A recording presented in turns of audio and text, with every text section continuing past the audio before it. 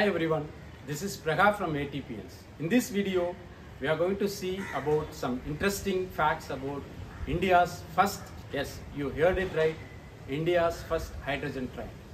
A cleaner, quieter and faster mode of transport.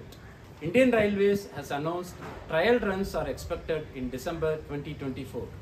Green H Hydrolysis is the company is responsible for the design and production of the India's first hydrogen train. Along with that, Medha Servo Drives (MDS).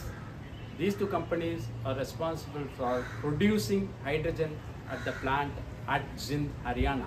The future hydrogen trains will be manufactured by ICF Chennai also.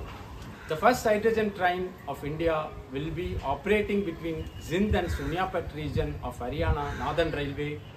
It will be operated at the speed of 140 km per hour. The train uses hydrogen fuel cells instead of diesel engine.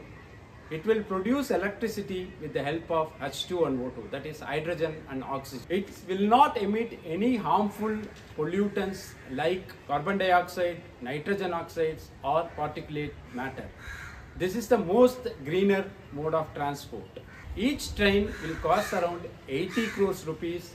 Indian Railways plan to operate 35 hydrogen train as part of the Hydrogen for Heritage initiative.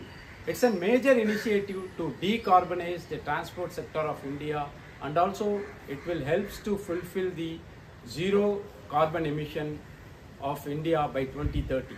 Hydrogen production and refueling station is planned at Jind, Haryana for producing the hydrogen and supplying for Indian Railways. To conduct a third-party safety audit for this India's first hydrogen train, Indian Railways is going to engage Germany's TUV SUD. Additionally, five hydrogen fuel cell-based tower cars or maintenance vehicles will also be produced. With this awesome development, India will join Germany, France, Sweden and China as the fifth nation who is going to operate hydrogen train in the world. Please see the description links for more details. Thank you. Jai.